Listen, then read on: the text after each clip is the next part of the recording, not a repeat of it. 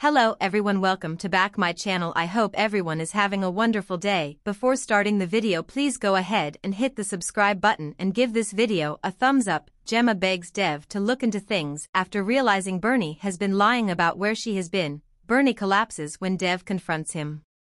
She acknowledges that Zodiac, or simply Zack, was her other son and was placed in foster care.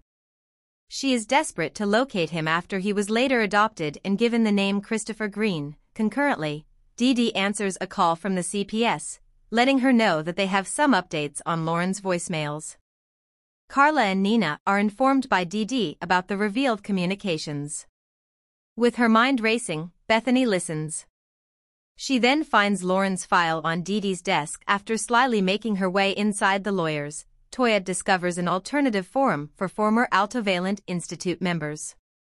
When she tries to show Leanne a post she saw, implying that the institute shouldn't be trusted, she finds out it has been removed due to legal issues. Despite Leanne's dismissive attitude, she phones Rowan, who claims that his spiteful ex-wife authored it and that her statements are untrue.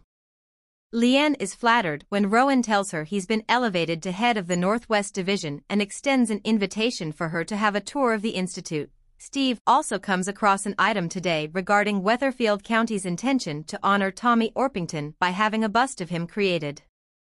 After meeting Demi, Steve starts slandering Tommy.